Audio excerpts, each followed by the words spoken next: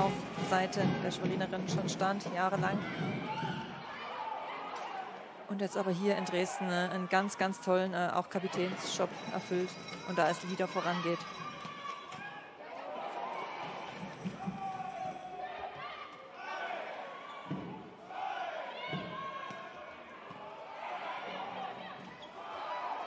Ha. Richtig schöner Punkt. Vielleicht bislang der emotionalste Punkt in diesem Spiel. Aber geil gebaggert von Pia Kessner, dann Einbeiner.